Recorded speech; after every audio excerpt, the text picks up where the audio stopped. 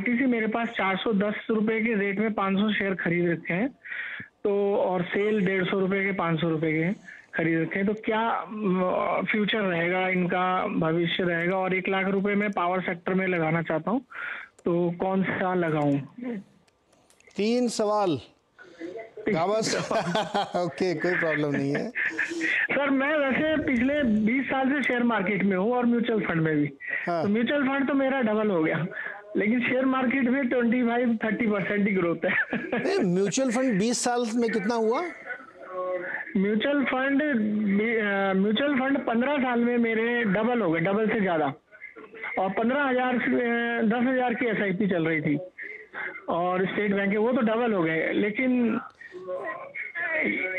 यहाँ पे equity market में मतलब जो मैं मैं खरीद रहा हूँ हम्म। उसमें लॉस चल रहा है। जैसे यस बैंक में तो बड़ा लॉस हो गया था मुझे। पहले मैं पाँच सौ रुपये खरीदा था शेयर और एवरेज करते करते नाइन्टी टू में आ गया इक्कीस रुपये